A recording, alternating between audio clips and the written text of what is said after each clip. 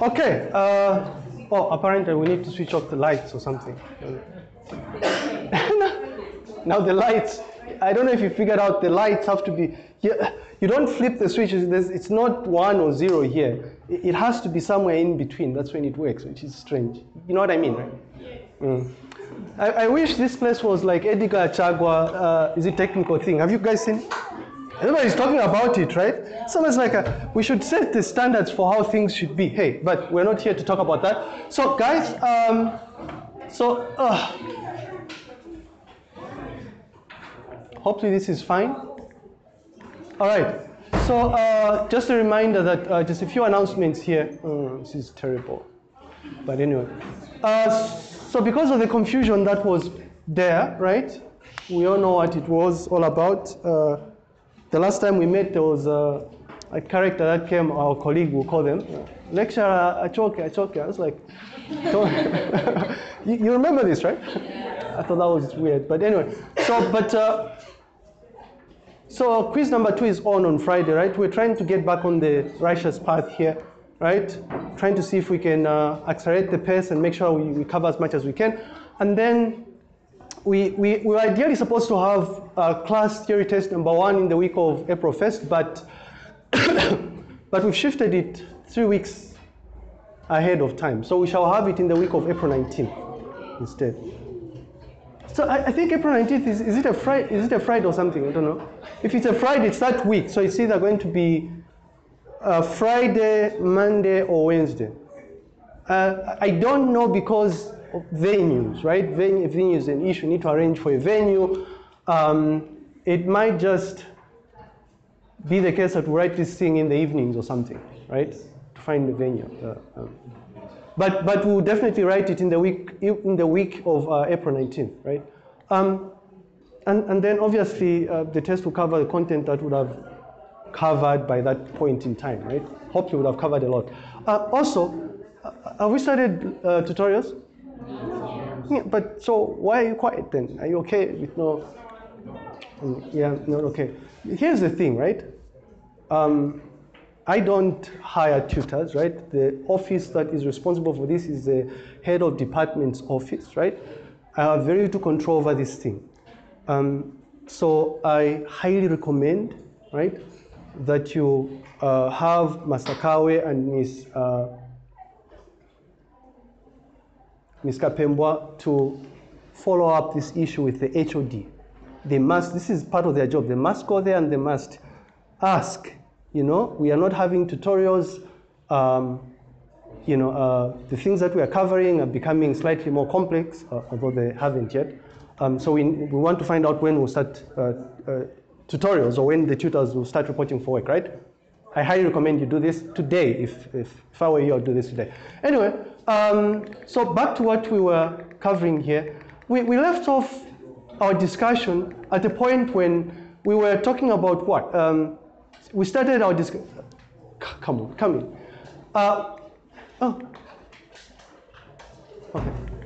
We, we, we started our we started our discussion of um, know, we did quite a lot in application software, but we started our discussion of system software and, and we actually spent time talking about this, this whole notion of language translators, right? Um, we know what they are now. We can, we can actually cite examples of uh, language translators, be able to explain exactly how they work, right? Um, we specifically focused on um, two different types, right? We looked at compilers and interpreters. But of course, we do know that there are a couple of other subcategories of language translators, specifically assemblers, um, decompilers, disassemblers, right? There's a lot of them out there. But we, we thought it would be nice for us to just focus on compilers and interpreters. In part because going forward, we're actually going to be interacting more with compilers and interpreters, right? When we start programming in Java, for instance. And we looked at uh, an example. We discussed this, right? Yes, we did we looked at an, an example of how, how compilers work. Now, if, if people, maybe just uh, before we proceed here, in case people don't understand, right? So,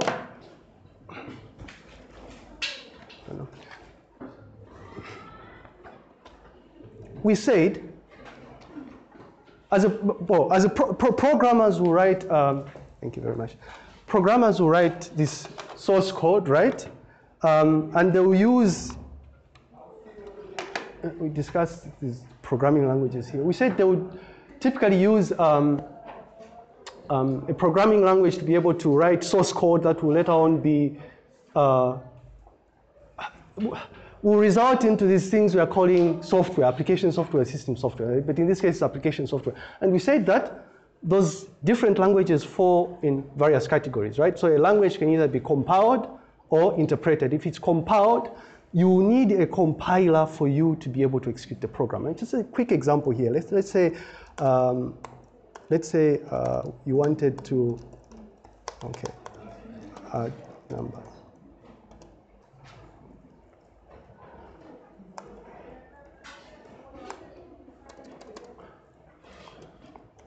Just, just play along here, right?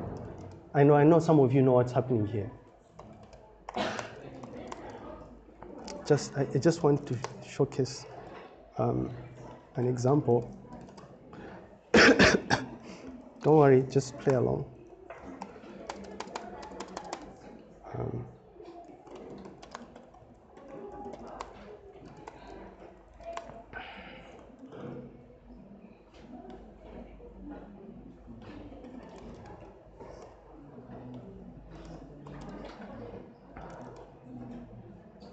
If this will work here, but let me just check.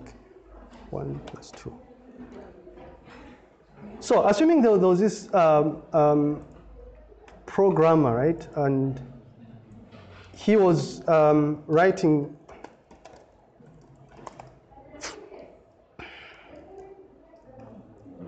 just just play along. I'll explain just now. Just see if it if it works. Please wait. Okay. so. Um, this whole notion of compilers and interpreters, right? So here's this programmer is writing his uh, simple program, very retarded program here, which just adds one plus two.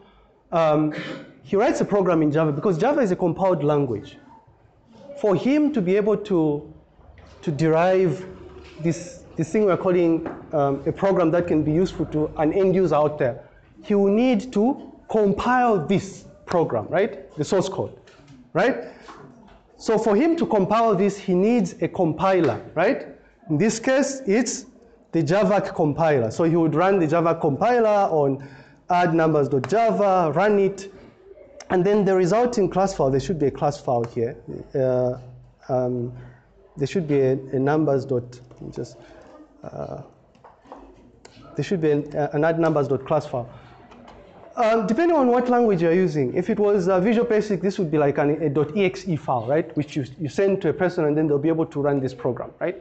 In this case, because it's Java, obviously, um, you send this class file to a, a, person out there and they'll be able to run this and be able to say, oh, uh, Java add numbers and boom, it just uh, prints out one plus one is equal to, oh, you can't see that. One plus one is equal to three, right?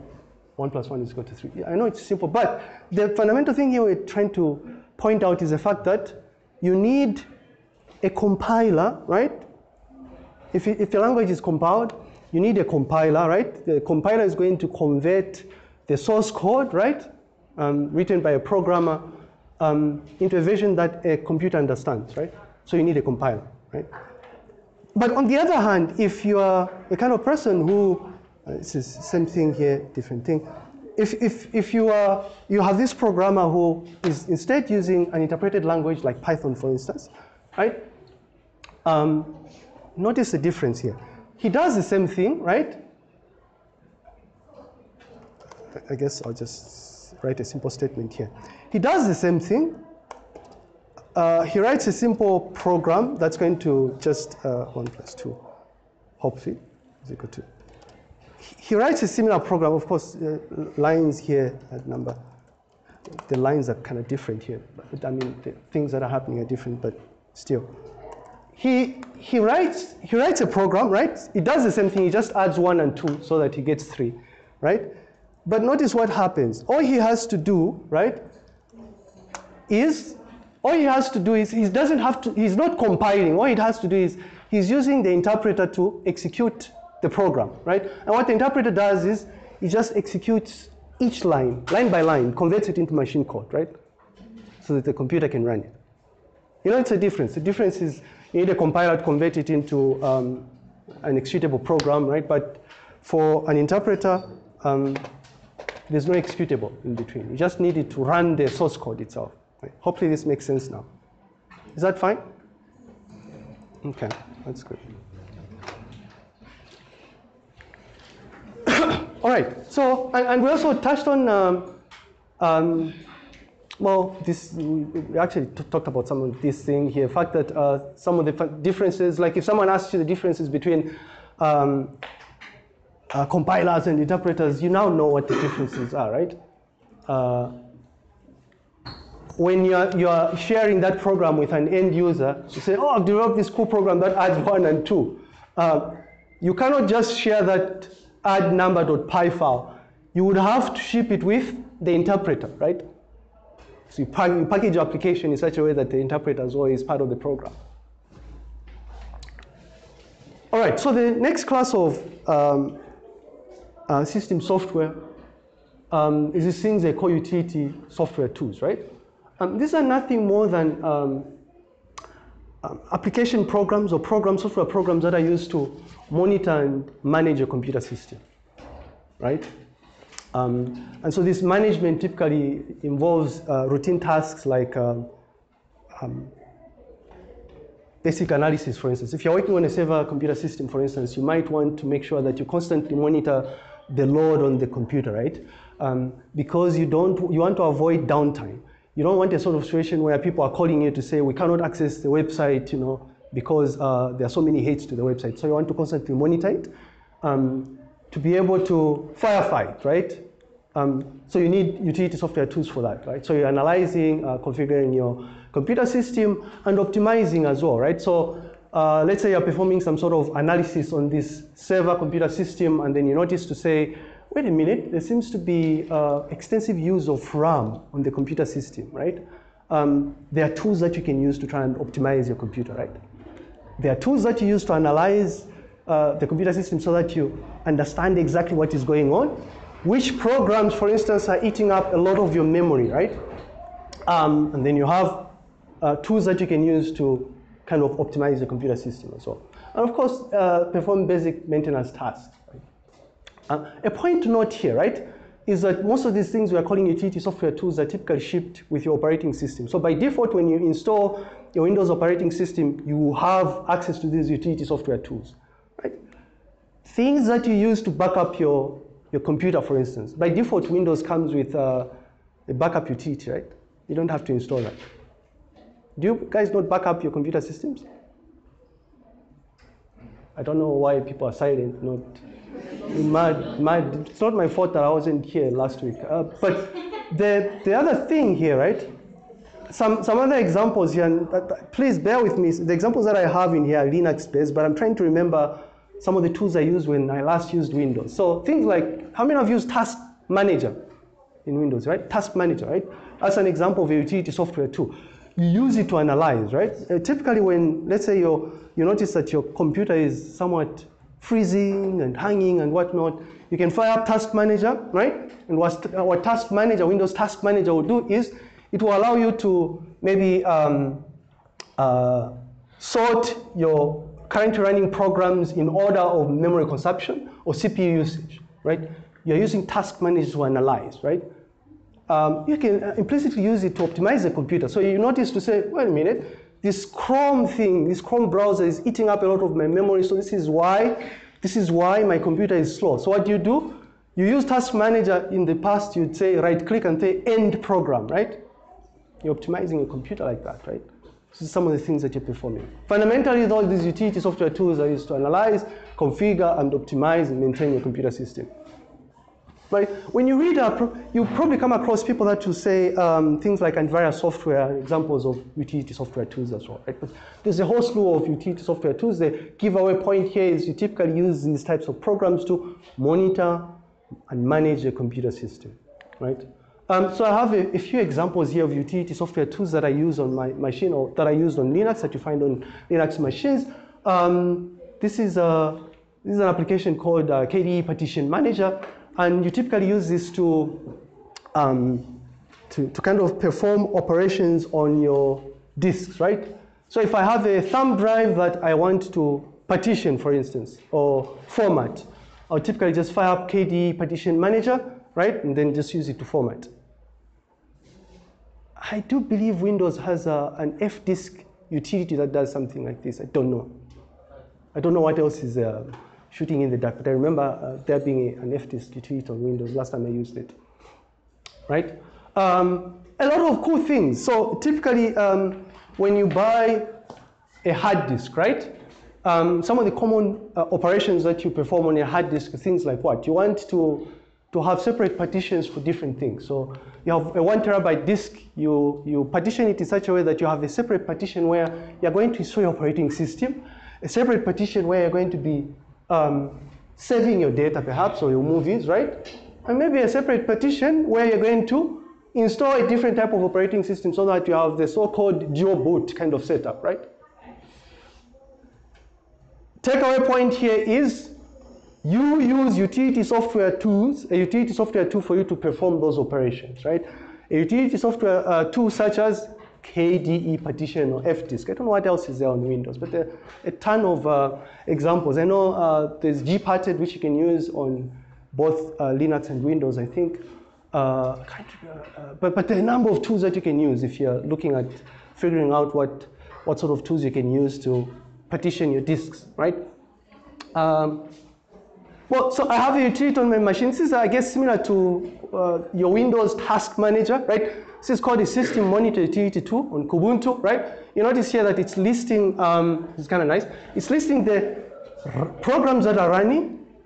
Um, and because uh, one of the hallmarks of Linux is this whole notion of uh, multitasking, you can have multiple users logged onto the same system. It also shows you the user that is running that program, right? The, like how much of the CPU it's using, you notice that this program is using just 1% of the CPU, and how much RAM it's using, right? Um, so similar to Windows Task Manager, if I notice to say, oh, Chrome is uh, using up a lot of my, um, my memory here, and I'm not really doing so much in the browser, I can just end it, I kill it, right? You, you end the program, or you kill it, like um, on Linux, right? Um, this is still system monitor, right? Again, uh, you notice that system monitor is being used to analyze, to conduct an analysis of what's happening on the computer system, right? Um, and obviously, an analysis is not that useful if you just read, if you just go through the slew of applications that are currently running, because there could be a lot of applications and processes running, right? But you want, you could be interested in seeing a visual representation of what's going on, right? So there are fancy graphs that you can use here to show um, um, like how much of the CPU, is being used here. And notice that this historical chart here is showing you that there's kind of spikes here. Maybe if you're analyzing this, you would be interested in finding out what was happening here. Why are these spikes there, right? Or whatever. Um, but there's more, right? Um, on my machine, I have um, a utility software tool that comes from packaged with the operating system that is used to, for, for power management, right? So I can configure it in such a way um, that I specify what I need to happen if I'm running out of power. So I tell it, if, if I'm remaining with 10% of battery power, please gracefully shut down the machine, right? If I have 50% of battery power remaining, start automatically adjusting the, the brightness of the screen because the brightness of the screen happens to be one of those things that eats up a lot of your power, right? So that you conserve power in the process, right? It becomes useful like right now um, because of the configuration. It's useful because I'm not connected to mains power supply. I'm using the battery there. So because of this power management utility tool, I was able to configure it in such a way that I, I, I know that I can take a chance that the battery will be enough for us to gracefully conduct a 45 minute long lecture session, right? Utility software tools. There is more, right? Um, again, for analysis, um, it does somewhat something similar to, top does something similar to system monitor, um, only you notice that it's uh, terminal based here. So you, you typically analyze these fancy numbers here using the command prompt, right? Um, uh, and, and by the way, this this is you might think ah but but why this why can't i just uh, why can't i just use system monitor right when when you are a lucky person who's hired to babysit servers right and there are a lot of people like at Unza who are paid a lot of money to to actually be systems administrators right typically you don't have a graphical user interface that you use to access the server right you because the server is a remote machine you you connect to it remotely there's no graphical user interface, you're working in the terminal, right? So if you're working on the terminal, this is where tools like uh, um, like these terminal-based tools like TOP become useful, right? There are a number of them. There's free. There's um, free is actually a command F R. Um, but the bottom line is these things, right? If you notice the description here, they do um, certain fundamental things: analysis, configuration, optimization, and maintenance of the computer system, right?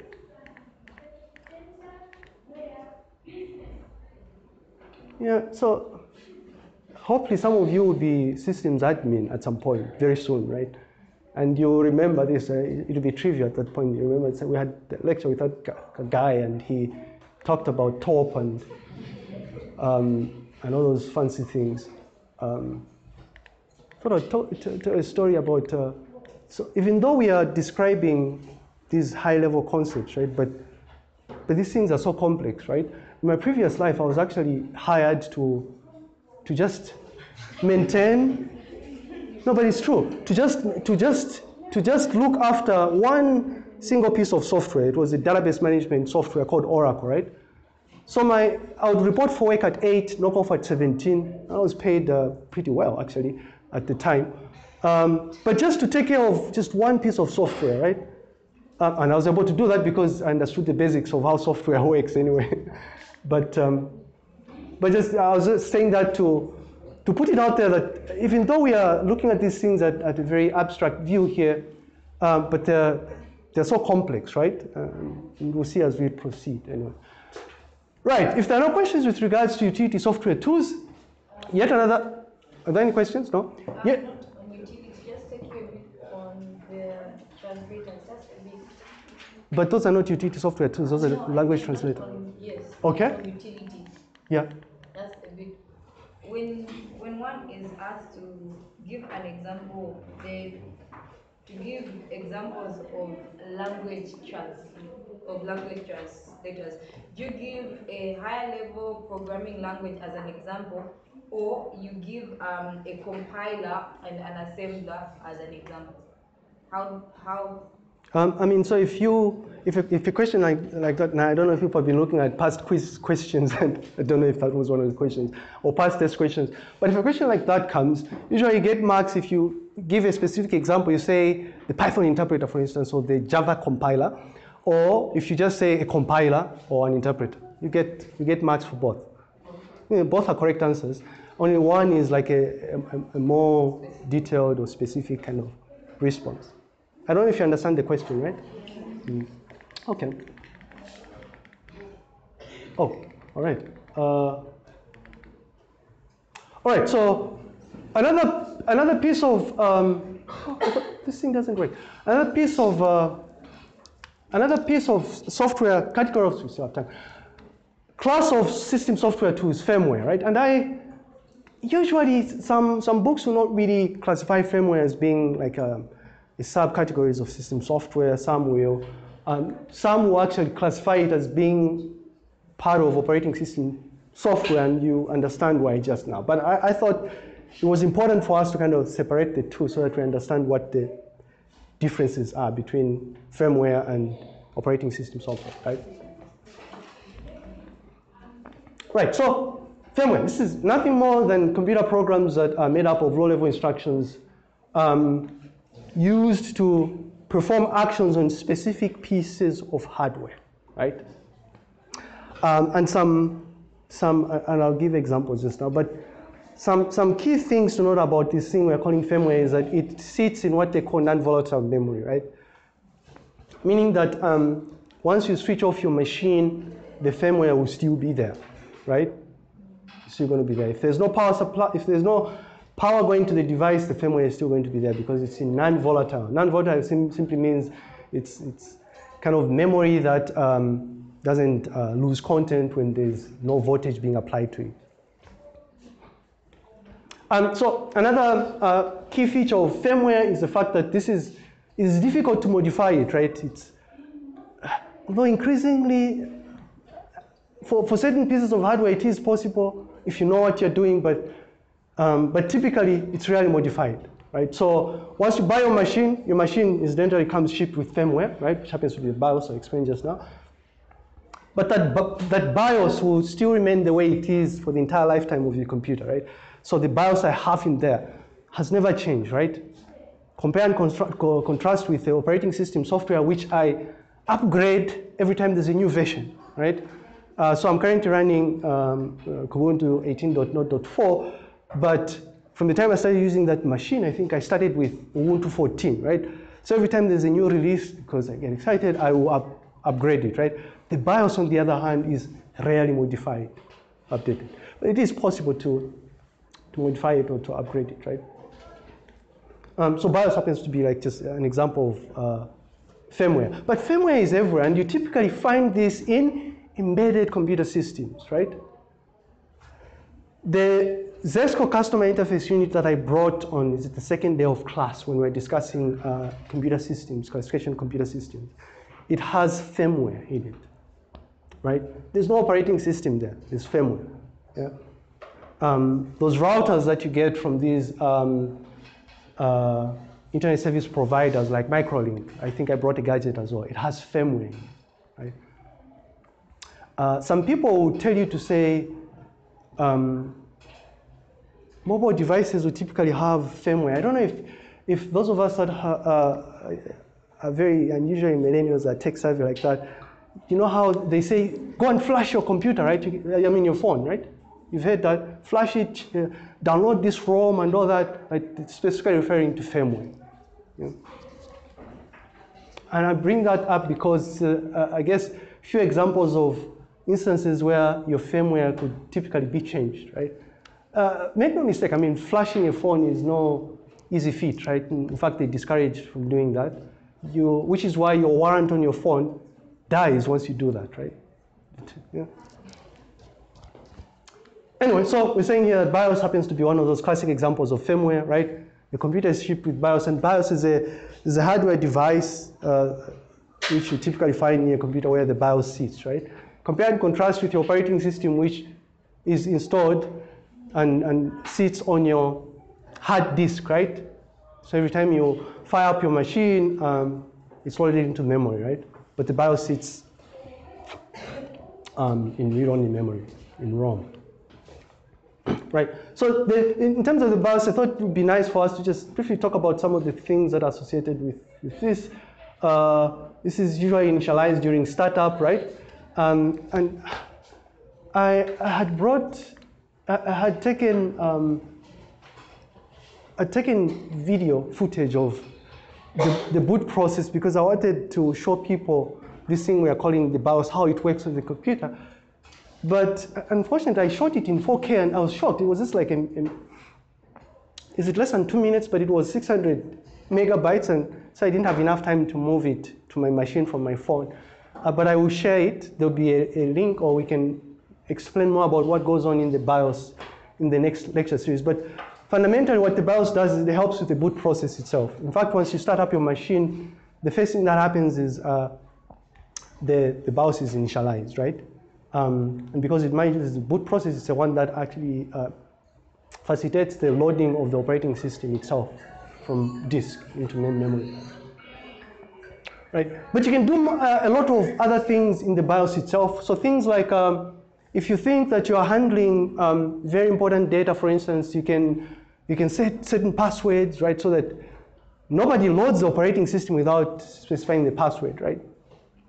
Uh, so fancy things like if you notice that your computer is acting up, you can perform very basic diagnostics using the BIOS, right? So you, you check your CPU to see if there's anything wrong, you check your disk to see if there are any bad sectors and things of that nature, right? Quite useful. And most people will not even realize that there's this thing called the BIOS. You just see it, it's a, uh, starting up and whatnot. Press, I've, I've people seen the press F1 to get into BIOS and all that. That's what we're referring to I, I, unfortunately, I can't, we cannot beam the projector to show. Yeah. But I will show us what happens. But this is typically how the interface looks. This is for my other machine, uh, my, my ProBook. Uh, so you notice that this panel is showing you uh, things like I can check system information without actually loading the operating system itself. In, in fact, right, interesting thing here is because it's a separate piece of software, even if you don't have an operating system installed on your computer system, the BIOS will still work, right? So a computer can actually still perform basic functions without actually having an operating system installed on it. Uh, we, we, had uh, some interesting debates about this um, um, last year, which is why I decided to bring it up. People are like, there's a, a question that was asked, say, uh, is it possible, does the computer be able to work without an operating system, right? And people are like, no. And I'm thinking, oh, but we, fundamentally, number one, we discussed a certain class of compu computers called embedded systems, which might not have an operating system. So, well, if they work, then the computer can be, uh, I mean, can obviously work without an operating system, right? But um, microcomputers can work without an operating system, right? But you'd be able to do very little, actually. Just basic uh, analysis and I guess in configuration, you, you want to check sectors, for instance, on your hard disk, see if your CPU is working just fine, right? Does those things for you. And set some security configurations here. All right. Um, I don't know if you have any questions with regards to utility software tools. Is this making sense? Mm. Ah, great. You must tell us if it's not making sense, right? Um, right, so next up is this um, class of system uh, software um, tools called operating system, right? Operating system software. Uh, probably one of the most important pieces of software, I guess. Um, in part because, uh, and even more so when, when we're making reference to things like microcomputers and server computer systems, for instance, right? Not embedded systems because they might not have an operating, they, they might not require an operating system.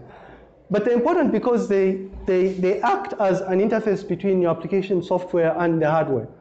Because the, the, operating, the, the application software itself, so, so the Microsoft Word that you use, the Chrome itself, cannot interact with the hardware. Remember, fundamentally, we are using Chrome because Chrome helps us tell the hardware what we want Chrome to do on our behalf, right?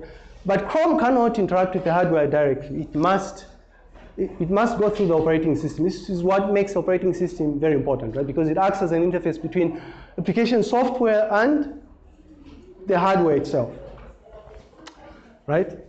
So obviously it controls the operations of the computer system. Um, it provides us with a way of interacting with the hardware, which I, I just um, explained here. And I, I, guess it will be important again to repeat the fact that uh, when you compare this with firmware, the fact that the operating system, once installed, sits on, on secondary storage, right? It's on disk. So it's stored on disk, but then once, um, once you start your machine, BIOS initializes and the operating system is loaded, part of it goes into memory, right?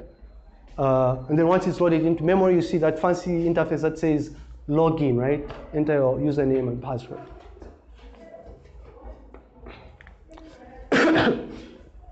so in terms of like the, the fundamental um, kind of functionalities associated with operating system, it is a complex piece of software, yes. In fact, I dedicated courses that focus on how an operating system, I mean, uh, yeah, how operating systems work, right?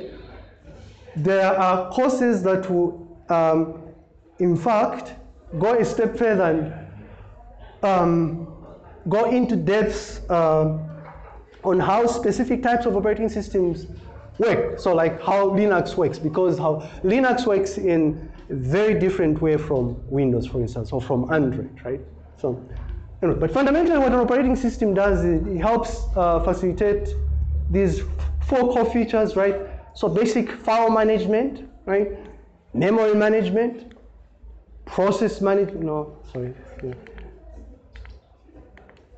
Yeah. So file, file system management, memory management, process management, and device management, right? You know what else is that? Right.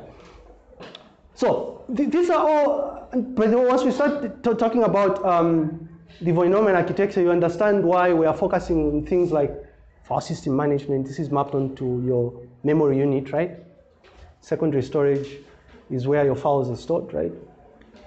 Typically, when you're referring to that, it's a part of memory, right? It's a memory unit. Memory management is also tied to the memory unit, right? Process management is tied to the CPU, right? Device management is tied to the CPU, right? Um, so the I/O actually, input output, because you're referring to peripheral devices here, right? So notice that this this is a lot easier to understand once you think about the those high-level components of, of the computer system which we discussed, right? So when it comes to file management, right? So fundamentally, uh, if you look at the, the, the, the basic way in which a computer works, we discussed the fact that it accepts input, it processes the input, um, it optionally stores whatever processing has been done, right? Or presents it to the user. So the, the storing part here is what's important when you're looking at file management, right? Because the storage of the processed data is done in conjunction with secondary storage, right? So these things that are processed are eventually stored on things like your hard disk or your thumb drive, for instance, right? And so there needs to be a way in which you're able to manage those things that you're storing, right? Which is why file management becomes important. Um, memory management here, obviously, we are mostly referring to things like um, primary memory, so RAM. Because you typically have a lot of applications running on your computer system, you need a way in which you're going to um, appropriately share that memory because you have limited resources, right? You have a slew of applications and processes running. So there has to be a way of appropriately allocating memory to those different processes that might be running, right? And the thing that does that is operating system. Process management, right? This is tied to memory management. Obviously, each application, right? Take you back here.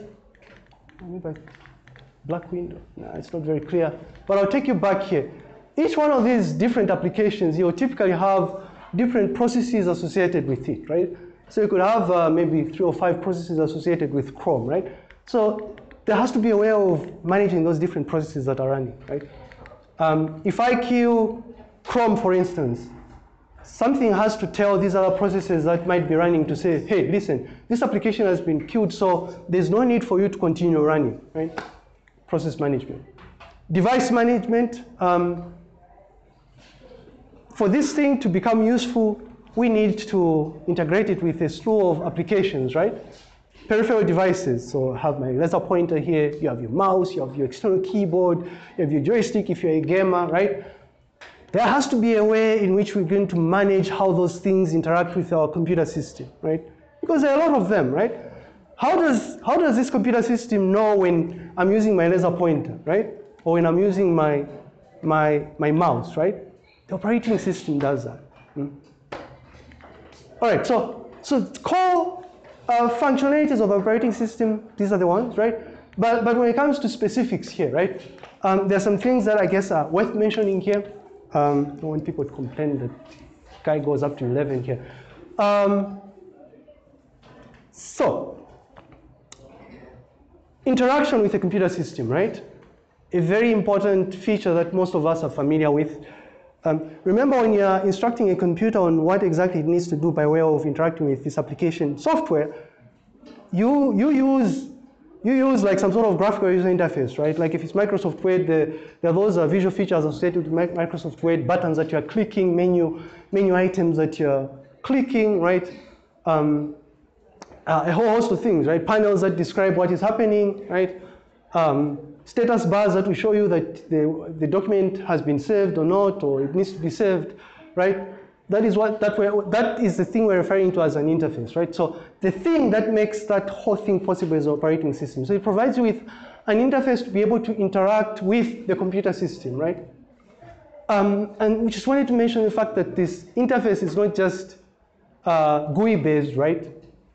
It can be command line based. I gave an example of uh, remote servers that you might be interacting with, for instance. You SSH into a server and you have you must ask if, I don't know if people understand what we mean by saying um, command line interface.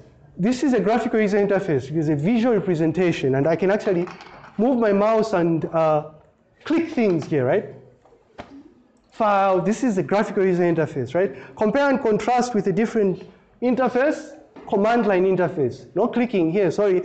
It's just uh, issuing commands, right? These fancy top commands, whatever else you might be um, doing, you know, remote login for SSH, right? So command line interface, graphical user interface, right? Two different types of interfaces associated with um, computer systems.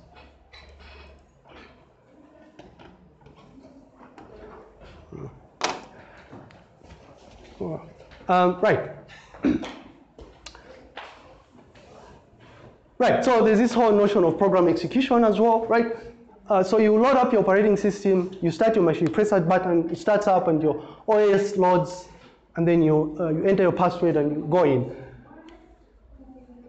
There has to be a way in which um, program execution is going to be performed, right?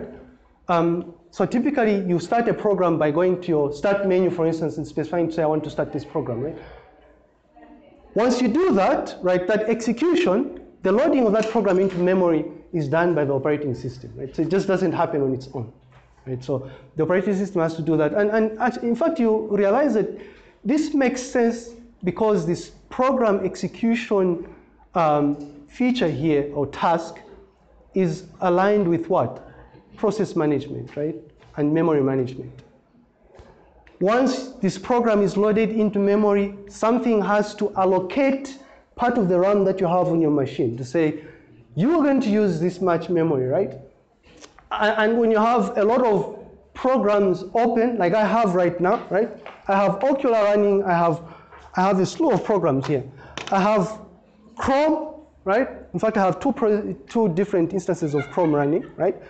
I have Okular running, right? And I have Kate running. Uh, so once, once program execution happens, obviously, and the, the, the program is loaded into memory, something has to allocate specific parts of RAM to the program that you're running at that point in time.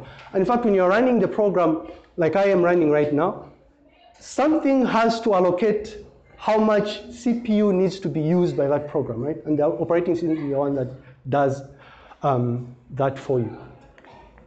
And you notice that all these different things are happening in the background, right? So it's, it's not like you are aware as an end user of what the operating system is doing, right? But when you run utility software tools like TOP, for instance, or System Monitor, or Task Manager, you get a sense of what is happening actually.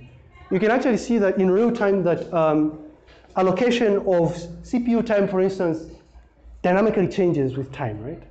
Um, time sharing happening there. right, so uh, specific tasks, tasks again, uh, so there's things like uh, file system manipulation, right? When, when you're storing these, these, these things uh, or this data that has been processed by the, by the, um, by the CPU, typically the, the, the storage process is done using these things we call files, right? And there are various types of files. You can have regular files like uh, your Word document or your text file. Um, you can have what? A directory or otherwise folders, right? It's a type of file, a different type of file because it's a container structure. It stores other files, right? It nests other files. But fundamentally, the operating system allows you to, to perform file system specific operations, right? On those uh, files and directories, right?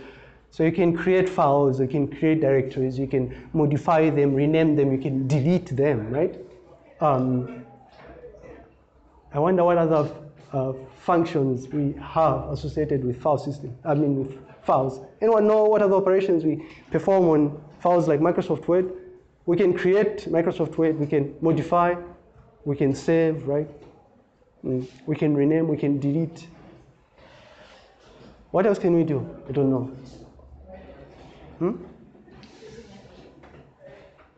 It doesn't have to be Microsoft Word. There are different types of files, right?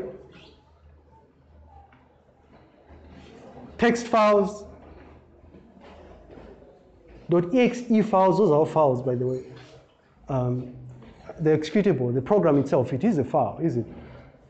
Yeah. No, sorry, pause.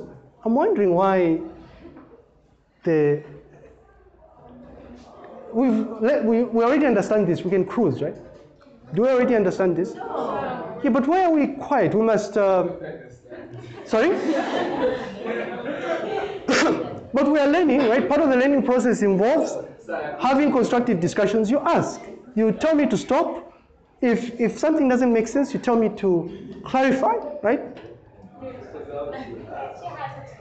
Yeah, yes. So we'll go back here. Sorry. Yes, about how File management. you said it's an example for utilities. No, no, no. I didn't. I said file management is one of the core, file system management is one of the core functionalities of an operating system. And what we're saying is when you talk about file management, specific tasks that are performed, you know, tasks associated with this functionality here. We're saying things to do with file system manipulation. And we're giving examples of operations, right, that are associated with file system manipulation. Creating a file. So, I'm manipulating the file system when I come here and I say, here, here we go. When I created this file, the add number.py, this is file system manipulation, right? All right, I guess let's pause for a while here. We'll let this digest. Uh, let's digest this, and we'll continue the discussion on, on Wednesday. On Wednesday, I shall I shall transfer my 4K file, which is 600 megabytes. I was shocked. My goodness. Uh, it's one. It's a one minute. It's less than two minutes, but it's almost a gig in size, right? Hmm. Because it's in 4K and it's high resolution. But, but we'll, we'll show, we'll, we'll look at, we'll talk a little about how the BIOS actually works, right? And perhaps maybe I can just bring the other machine so that, no, I'll just use this. I'll I have a recording, I'll have the recording ready. All right, so if there are no questions, uh, looking forward to seeing you on Wednesday. Uh, and please uh, bear in mind that we have uh, quiz number two on, um, on Friday, right? Hopefully, I'm hoping we can finish off our discussion of computer software before the end of the week. Really, we, we're running out of time here. And by the way, when it comes to power management, right? I'm running out of power. Look at this. I'm running out of, please. I'm running out of power and the brightness of the machine was automatically adjusted, which is why it's not, and you can't see it because, but you guys can see it, right? It was adjusted, it was a bit down, but it's supposed to be like so because power was running out, right? Utility software tools. Guys, uh, I'll see you